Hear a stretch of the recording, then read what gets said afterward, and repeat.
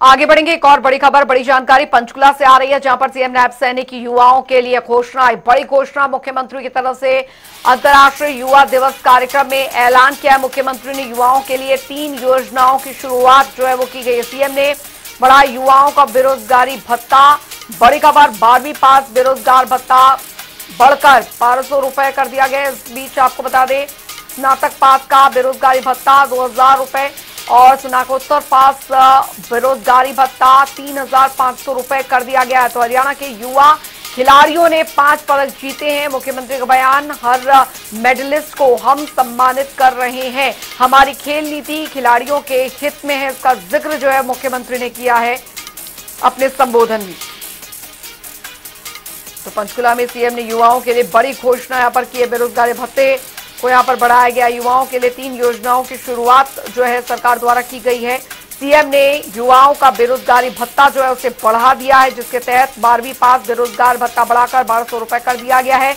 वहीं स्नातक का पास का बेरोजगारी भत्ता दो हज़ार रुपए कर दिया गया है और स्नाकोत्तर पास बेरोजगारी भत्ता तीन हज़ार पाँच सौ रुपए कर दिया गया है। वहीं हरियाणा के युवा खिलाड़ियों ने पाँच पदक जीते हैं और हर मेडलिस्ट को हम सम्मानित कर रहे हैं। मुख्यमंत्री का ये बयान हमारी खेल नीति खिलाड़ियों के हित में है। इसका भी ज़िक्र जो है, वो मुख्यमंत्री ने किया है। तो युवाओं के लिए बड़ी घोषणा यहाँ पर मुख्यमंत्री की तरफ़ से की गई है। बड़ी खबर, अंतर्राष्ट्रीय युवा दिवस कार्यक्रम में बड़ा ऐलान। मुख्यमंत्री नायब सिंह सैनी की तरफ़ से युवाओं के लिए तीन योजनाओं की घोषणा। सीएम ने युवाओं का बेरोजगारी भत्ता जो है, वो बढ़ाया है।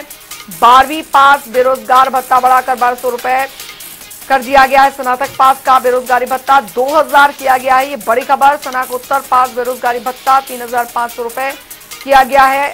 हरियाणा के युवा खिलाड़ियों ने पाँच पदक जीते हैं। हर मेडलिस्ट को हम सम्मानित कर रहे हैं। ये बयान यहाँ पर दिया है तो हमारी खेल नीति खिलाड़ियों के हित में है।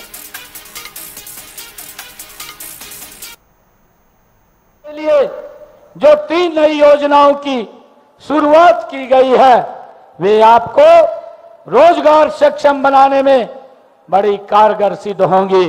ओलंपिक गेम के जो पेरिस में गेम चल रहे हैं पैरा ओलंपिक के, हमारे हरियाणा के युवाओं ने भारत का नाम दुनिया के अंदर चमकाने का काम किया है।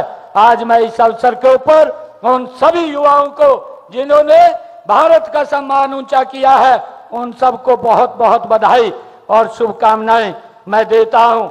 मुझे खुशी है कि देश के अंदर पाँच पदक हमारे हरियाणा के युवाओं ने जीत करके देश का और प्रदेश को गौरवान्वित करने का काम ये हमारे युवाओं ने किया है कि मैंने ये निर्णय किया है कि हम एक अगस्त 2024 से जो बेरोजगारी भत्ता है, मैं उसको बढ़ाने की आज इस अंतर्राष्ट्रीय युवा दिवस के अवसर के ऊपर मैं घोषणा करता हूँ।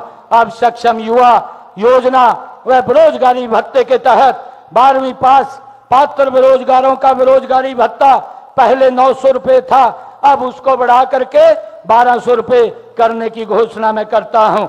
स्नातक का बेरोजगारी भत्ता पहले पंद्रह सौ रुपये था, अब उसे बढ़ा करके मैं दो हज़ार रुपये मैं करने की घोषणा करता हूँ। और स्नातकोत्तर का बेरोजगारी भत्ता तीन हज़ार रुपये था, अब उसको पैंतीस सौ बढ़ाने का मासिक पैंतीस सौ बढ़ाने की मैं घोषणा करता हूँ।